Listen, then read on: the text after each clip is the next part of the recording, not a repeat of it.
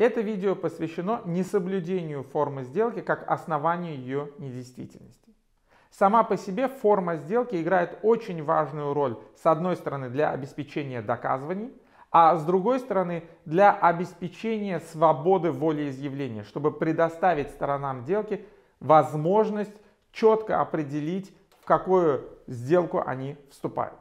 Однако, к сожалению, на практике зачастую стороны обращаются к несоблюдению формы сделки для того, чтобы злоупотребить правом, чтобы уничтожить сделку. И в этой видео мы как раз с вами обсудим, во-первых, сами формы сделок, затем последствия их несоблюдения и, наконец, рассмотрим возможности предотвращения злоупотребления. С самого начала очень важно еще раз подчеркнуть, что Форма сделки является в соответствии с гражданским правом Казахстана свободной. Она является частью свободы договора и вследствие этого стороны могут заключать сделки как устно, так и письменно. Это напрямую предусмотрено пунктом 2 статьи 151 Гражданского кодекса. И лишь только в тех случаях, если это законодательно предусмотрено, либо одна из сторон сделки потребовала какой-то определенной формы, эта форма становится обязательной. Гражданский кодекс выделяет две основные формы сделок – устные и письменные. При этом к устным сделкам относятся также конклюдентные сделки, а к письменным также заключенные в нотариальной форме. Итак, устные сделки. Обычным случаем заключения устной сделки являются переговоры, которые происходят в присутствии двух лиц и непосредственным образом. Мы уже говорили о подобных сделках в контексте направления и получения оферты и акцепта. Однако следует различать устное волеизъявление, то есть устную оферту либо устный акцепт, и моментах направления и получения от устной формы сделок. Скорее всего, когда мы говорим о получении устной оферты или о получении устного акцепта, мы говорим о получении волеизъявления, сделанного в присутствии, а не о устной форме сделки. Что означает устная сделка в значении статьи 151? Итак, сделка, заключенная в каком-либо чате, будет считаться, скорее всего, письменной. Мы с вами еще об этом поговорим, когда будем обсуждать письменные сделки.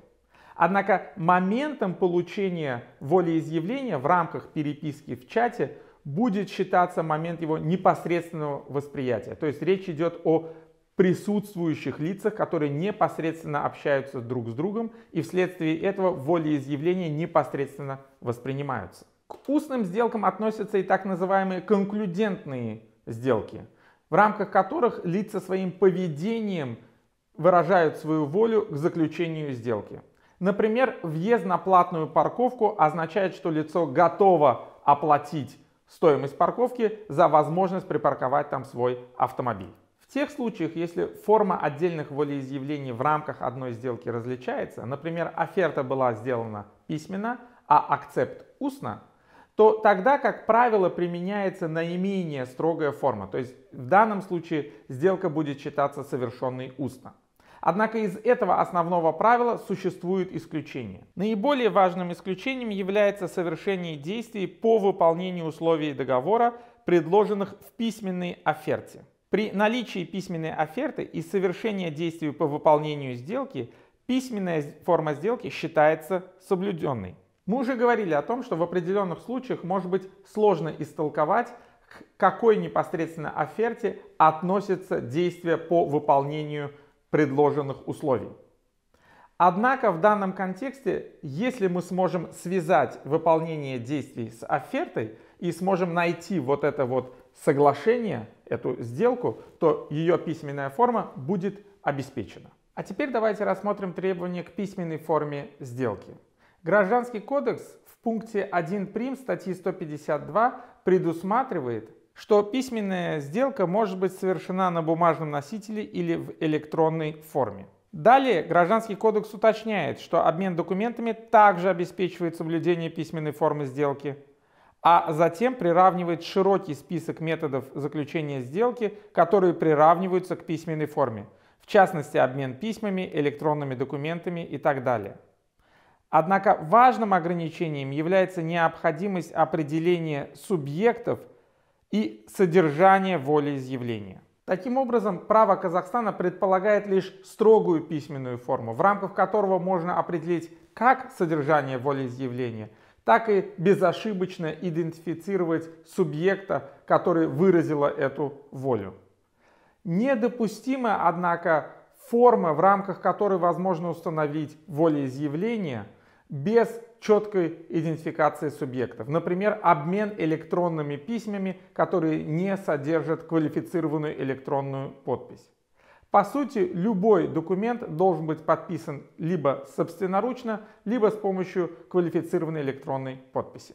Необходимо отметить, что многие правопорядки на сегодняшний день предусматривают и промежуточные формы между устной и очень строгой письменной формой. Это как раз те случаи, в которых волеизъявление либо сделка фиксируется на каком-то бумажном либо электронном носителе без возможности идентификации субъектов, которые изъявили свою волю. Подобная трехуровневая квалификация форм сделки позволяет более гибко регулировать различные формы сделок, в особенности с учетом того, что на сегодняшний день количество заключенных сделок растет, а сфера применения квалифицированных цифровых подписей остается довольно ограниченной. Интересно, что Гражданский кодекс Казахстана предусматривает возможность более строгих форм сделки, которая должна быть закреплена законодательно либо в договоре.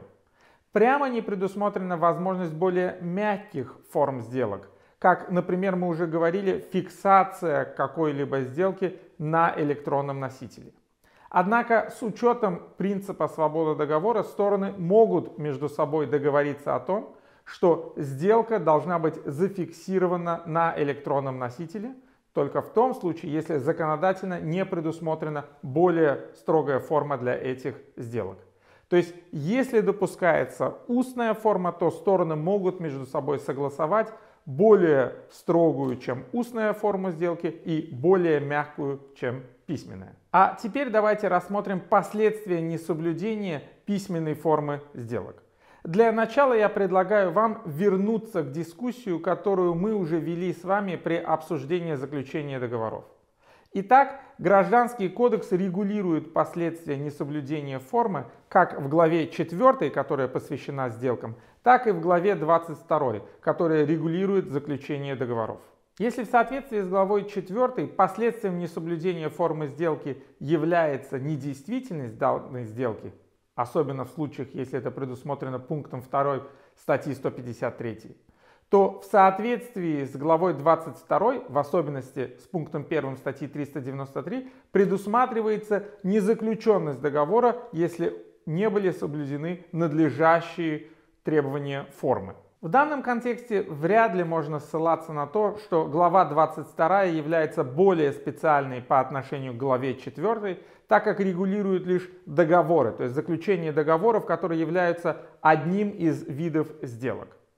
Так как договор является основным видом сделки и нормы, которые применимы к договорам, также применяются и к сделкам вследствие прямого указания Гражданского кодекса, мне кажется, должен быть выработан единый подход. В судебной практике, как правило, несоблюдение предусмотренной формы рассматривается как основание недействительности. Сложно определить истоки данного противоречия в Гражданском кодексе.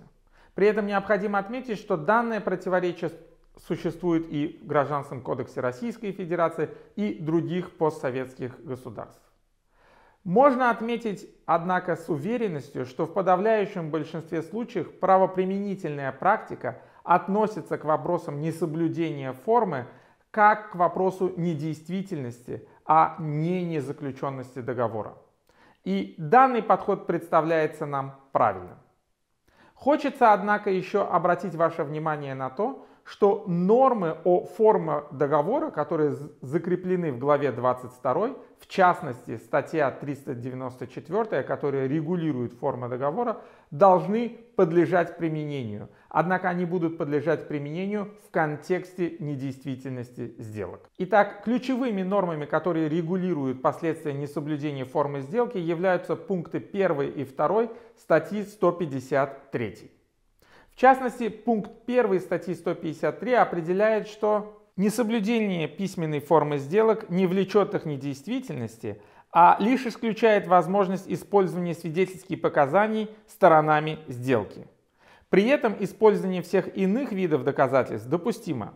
То есть, по сути, пункт 1 статьи 153 не регулирует недействительность сделок, а лишь допустимость определенного вида доказательств, частности, свидетельских показаний. Пункт 2 статьи 153 предусматривает ничтожность как правовое последствие несоблюдения формы сделок только в тех случаях, если это прямо предусмотрено договором либо законодательством.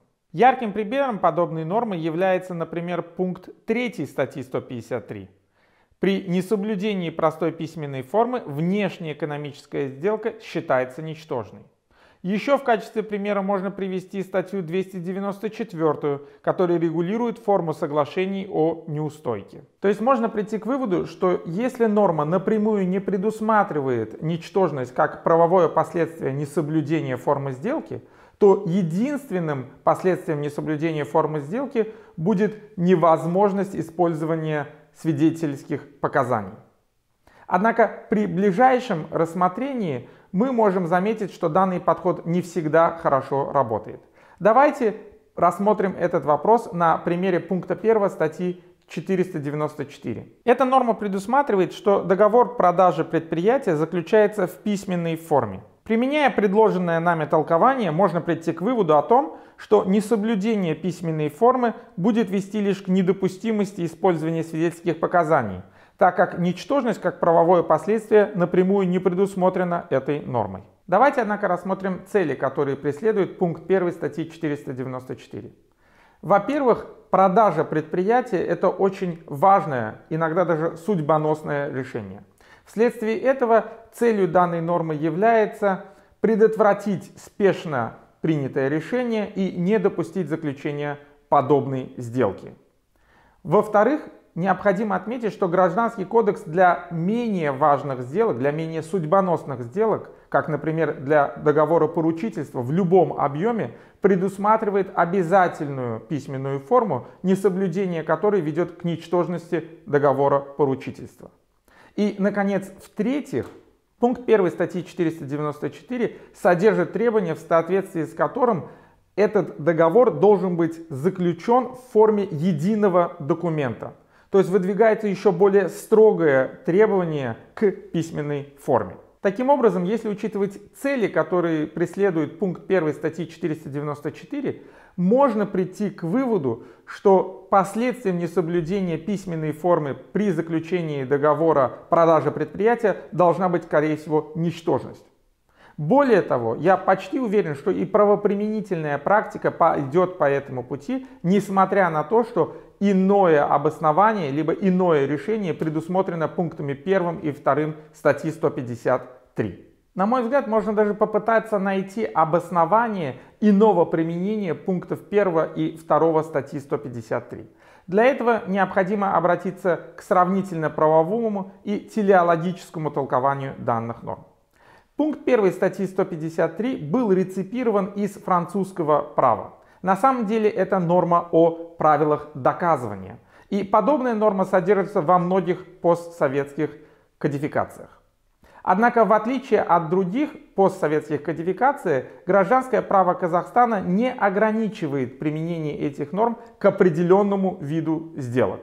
Так, например, скорее всего, в других правовых системах это правовое последствие, недопустимость использования свидетельских показаний, применяется к сделкам, которые перечислены в пункте 1 статьи 152. То есть в сделках, осуществляемых в процессе предпринимательской деятельности, на сумму свыше 100 месячных расчетных показателей, а также в иных случаях, предусмотренных законодательством либо соглашением сторон. Именно потому, что подобное ограничение не предусматривается Гражданским кодексом Казахстана, следует, наверное, каждый раз отдельно проверять правовые последствия несоблюдения формы сделок. Именно так мы и поступили в случае с пунктом 1 статьи 494, которая предусматривает несоблюдение письменной формы при продаже предприятия. Мы пришли к выводу, что последствием подобной сделки должна быть ничтожность. Однако легко можно предположить и другие казусы. в рамках которых ничтожность, хотя и предусмотрена непосредственно законодательством в качестве правового последствия, однако она должна применяться ограничительно. Давайте рассмотрим конкретный пример. Пенсионер А заключает с банком Б договор банковского счета. Б попадает в сложное финансовое положение и отказывает А в оплате вознаграждения за использование деньгами, ссылаясь на то, что Б не подписал договор. То есть не была соблюдена письменная форма сделки. В данном случае очевидно, что хотя статья 748 и предусматривает ничтожность договора банковского счета как последствие несоблюдения письменной формы, однако она однозначно направлена на защиту клиента банка. В данном случае ничтожность договора банковского счета приведет к тому, что А не получит вознаграждение и норма не достигнет своей цели. То есть у Б появится возможность злоупотребить данной нормой. Достигнуть приемлемых результатов можно лишь применяя все методы толкования качественно, а также учитывая принцип добросовестности.